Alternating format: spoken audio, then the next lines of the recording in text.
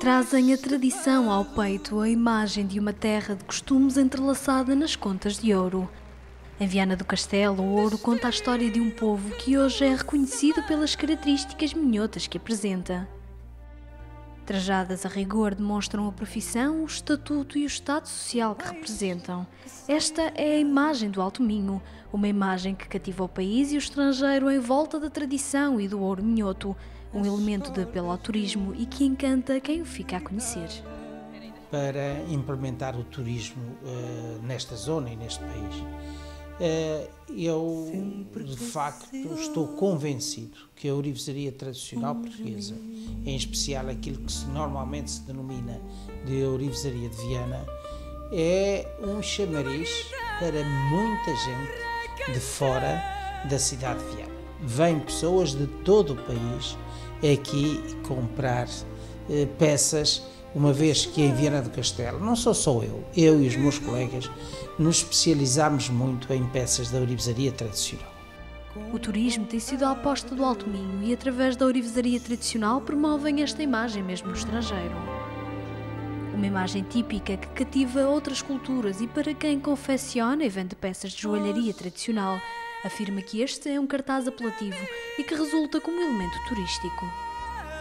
Estamos a fazer imensas peças inspiradas na cultura celta, bem eh, ao gosto dos anglo-saxónicos, que, por exemplo, na Irlanda fazem essas peças, mas estampadas.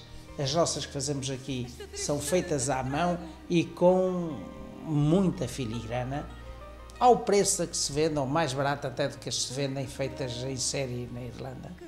E que os anglo-saxónicos por aqui passam ficam perfeitamente encantados com aquilo, como é que nós fazemos isto e tal. Mas de que peças da orivesaria tradicional estamos a falar? peças com história que simbolizam as vivências de um povo. Este é aquele tão falado coração de Viana na sua forma mais simples, sem grandes arrebites, um conjunto simples. O coração de Viana normalmente era usado pendurado no cordão ou também no colar de contas, mas mais especialmente no cordão. Esta é a célebre custódia toda em filigrana de ouro e com turquesas, pedras de relativamente pouco valor, porque o povo não se interessava muito por pedras caras, porque desvalorizavam muito na hipotética venda no ourives. É uma peça que pode rondar mais ou menos que valores? Não sei, esta peça custa para aí 7 ou 8 mil euros, não é? Agora, mas é, vai desde os uh, 300, 400, 500, 600, porque há desde tamanhos quase microscópicos até tamanhos grandes. Estas são as célebres arrecadas que também nós em Viana as designamos por arrecadas de Viana. Tem a forma da lua, tem a estilização do triângulo invertido, símbolo de fertilidade, fertilidade feminina, tem as bolas, outras calotas, tens o S dos filigranas estilizando os voos dos, dos, dos patos, animais míticos também.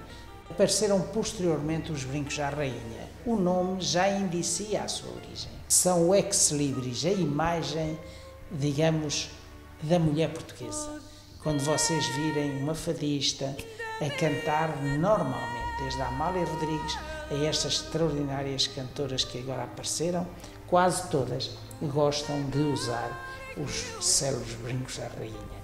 No mês de agosto aumenta a procura da orivesaria tradicional, tudo porque quem vem de fora quer viver o espírito das festas do Alto Minho.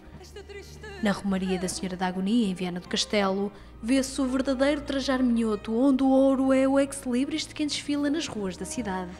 Ouro este aplicado a cada tipo de trajar.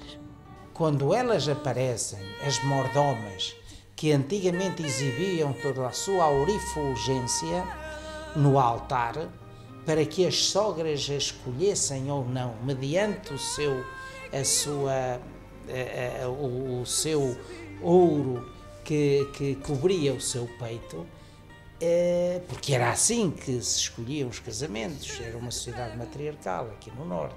Eram as mães que escolhiam as meninas para os meninos e os meninos para as meninas.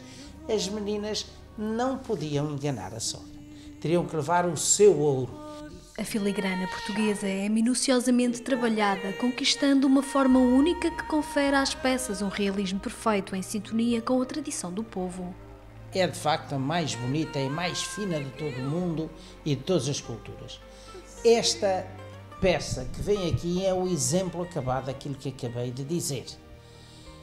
Eh, esta peça foi feita por um grande filigraneiro, talvez o melhor filigraneiro português, António Martins de Castro, hoje já com uma idadezinha avançada, muito simpático, que delegou agora nos seus filhos, mas de cuja oficina continuam a sair das mais belas peças em filigrana. A grande dificuldade que há e a grande técnica é conseguir eh, consolidar esses fios que são entalados uns nos outros com a solda sem os adulterar.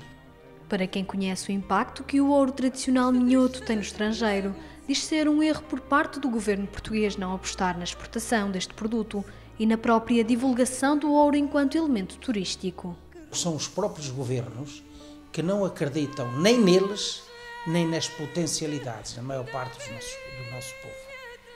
Nós temos coisas riquíssimas e lindíssimas que podíamos vender lá fora eh, que são nossas, genuinamente nossas. E há tantas pessoas como eu, eu sou um grãozito, que têm um grande amor às coisas portuguesas e que gratuitamente podem divulgar por esse mundo fora estas coisas. O Alto Minho, rico em paisagens verdejantes, alia a natureza às vivências do povo, uma região representada no ouro tradicional, espelho de características únicas. O ouro é a história das famílias e representa os costumes, uma imagem turística que apela ao convívio e à tradição.